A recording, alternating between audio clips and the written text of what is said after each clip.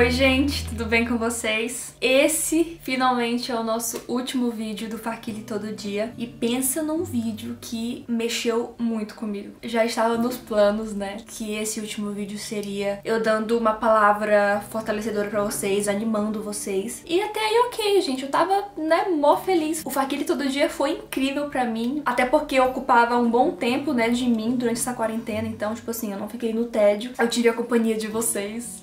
e aí, pra gravar esse último vídeo, eu tinha um prazo de três dias, né? Então eu tava bem de boa com o tempo. Só que, gente, quando entrou no primeiro dia do meu prazo pra gravar esse vídeo, me veio um peso sobre mim. Me bateu uma tristeza que eu não sei nem explicar pra vocês. E aí eu não consegui gravar no primeiro dia, passei pro segundo. Não consegui gravar. Passei pro último dia do meu prazo de gravar o vídeo. E quem disse que eu consegui? E isso me deixou muito frustrada. Eu confesso pra vocês que eu passei o dia inteiro na cama chorando por não conseguir fazer algo que é simples. Mas aí passava na minha mente como é que eu vou gravar um vídeo pra ajudar o outro sendo que eu não tô bem. E passavam muitos pensamentos na minha cabeça, a maioria dizendo que eu não sou capaz, que eu não sou boa pra fazer isso, pensamentos pra eu desistir, pensamentos falando que eu não estou pronta. E aí eu já tinha até desistido de gravar esse vídeo. Eu já ia até avisar nos stories pra vocês que tivemos problemas, que não ia dar pra ir o último vídeo, porque eu não queria mostrar esse meu lado pra vocês, sabe? Eu queria aparecer aqui forte, resolvida pra poder aconselhar vocês. Era isso que eu queria. Só que eu não sei porque durante o prazo que eu tinha pra gravar esse vídeo eu fiquei assim. Talvez Deus tinha um propósito, eu não sei. Mas aí hoje eu acordei com uma música na minha cabeça que eu acho que vocês conhecem. Que é aquela assim, ó. Presta atenção na letra. Luto contra vozes que me dizem que eu não sou capaz.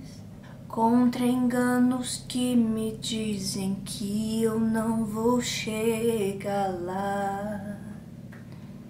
Meus altos e baixos nunca vão medir o meu valor.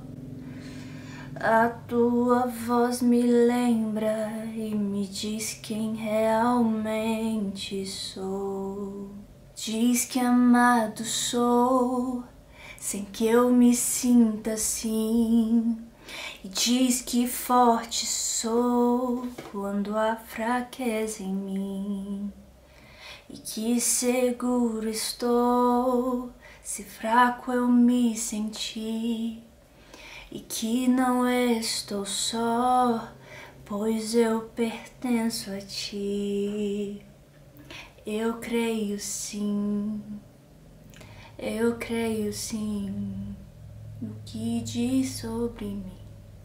Eu creio no que Deus diz sobre mim. Será que tu crê no que Deus diz sobre você? E nesses três dias que eu fiquei assim, o que eu tava fazendo era exatamente não crer no que Deus tinha para mim. Que Deus me vê não pelas minhas falhas, não pelos meus momentos de altos e baixos, mas Ele me vê como um todo. Mesmo sabendo que eu iria ter momentos de crise, momento que, né, como eu passei nesses três dias. Deus sabe de tudo, isso não foi novo para Ele. Então Deus jamais muda a palavra dele sobre nós. Porque nada é novo para Deus. Vocês estão entendendo o que, que eu tô tentando passar. Se você não tá bem agora, se você tá passando por momentos difíceis, isso não vai mudar o que Deus pensa sobre você. Afinal, Deus te conhece por inteiro, por completo. Talvez nos meus planos, nos meus roteiros, esse vídeo não era para estar tá saindo assim, mas talvez no roteiro de Deus era para estar tá sendo exatamente assim. Eu compartilhando a minha fraqueza com vocês, para vocês verem que vocês não estão só. Todos nós temos nossos momentos de crise, nossos momentos de dificuldades, as nossas fraquezas, os nossos desânimos. Eu perguntei do meu Instagram quem estava bem nessa quarentena e quem estava passando por momentos muito difíceis. E aí eu perguntei para essas pessoas que não estavam bem se elas queriam compartilhar o porquê que elas não estavam bem. E aqui são as respostas, gente. E olha só o tanto de pessoas que estão passando por momentos difíceis difíceis. Eu vou ler alguns pra vocês, só pra vocês terem ideia. Meu Deus, é muita gente, meu Deus do céu. Sentindo um vazio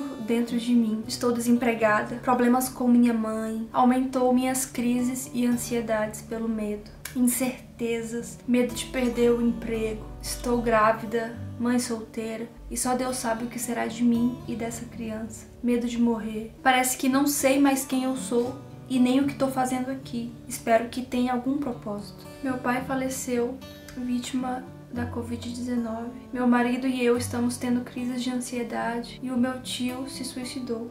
Condições financeiras ruins. Tive crise de ansiedade, o que me fez ter crise de pânico.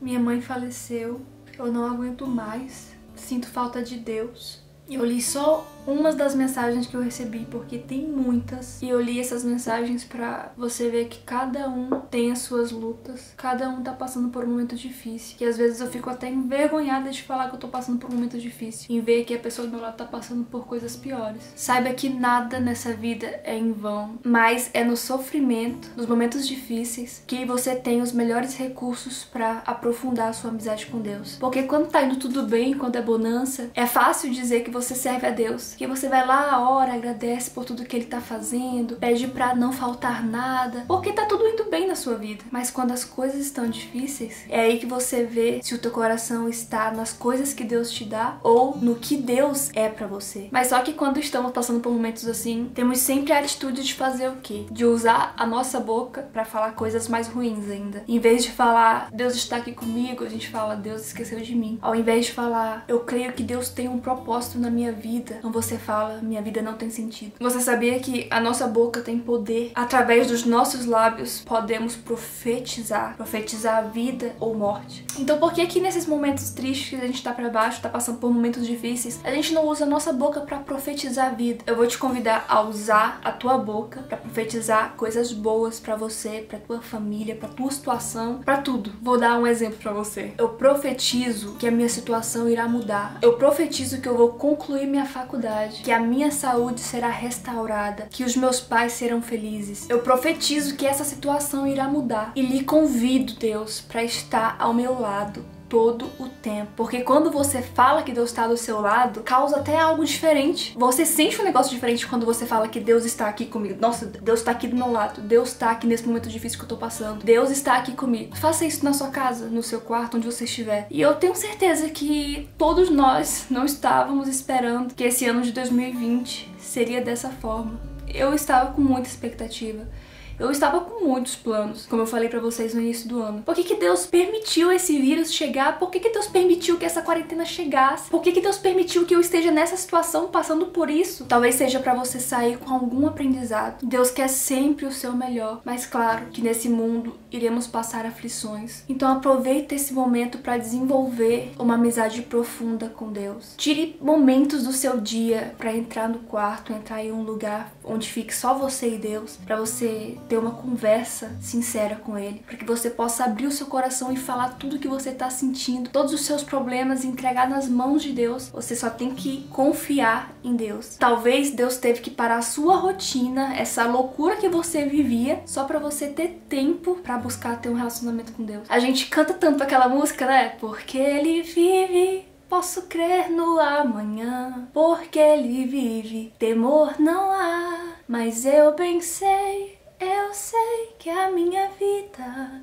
está nas mãos do meu Jesus que vivo está. Se você crê que a tua vida está nas mãos de Deus, por que, que você anda tão ansioso, tão preocupado? Eu tô falando isso, mas é para mim também, tá? Isso tá se aplicando a você e a mim aqui ao mesmo tempo. Por que, a gente anda tão ansioso, tão preocupado, sendo que é Deus que tá no controle de tudo? Quando essa quarentena acabar, que possamos ter absorvido algo bom desse tempo, sabe? Realmente entregue a sua vida nas mãos de Deus e confia nele. E esse vídeo, meu Deus, como foi difícil gravar, meu Deus, tô nem acreditando que eu tô gravando esse vídeo. Então o que eu quero dizer é que todos nós temos nossos momentos difíceis, passamos por dificuldades. Muitos estão passando por luto no momento, pelo pai, pela mãe que faleceu, por alguém da família que morreu. Mas isso é algo que futuramente eu vou passar, você vai passar. Mas use a sua boca para profetizar coisas boas. Convide Deus para estar contigo todos os dias e busque a Deus nessa quarentena, porque eu tenho certeza que grandes coisas vão acontecer na sua vida. Desculpa se esse vídeo não foi o que você esperava para o fim do Parque Todo Dia, nem era o que eu esperava também, mas estamos aqui, gente, crendo no amanhã, crendo que as coisas vão melhorar. E claro, eu sei que muitas de vocês queriam que o Parque Todo Dia continuasse por mais dias, mas eu decidi parar mesmo nos 20 dias, porque eu quero tirar uns momentos para mim. Eu quero ficar um pouquinho afastada, para eu me desligar um pouquinho do mundo, tirar esses ruídos, esse barulho que tá aqui ao meu redor, para que eu possa ouvir a voz de Deus também, porque eu quero tirar algo bom dessa quarentena, sabe? E fiquem aí, gente, na espera, porque está vindo mais coisas boas por aí, tá? Eu até falei no meu Instagram que eu estava com dois projetos. O primeiro era o Parquilhe Todo Dia, que acabou de acabar.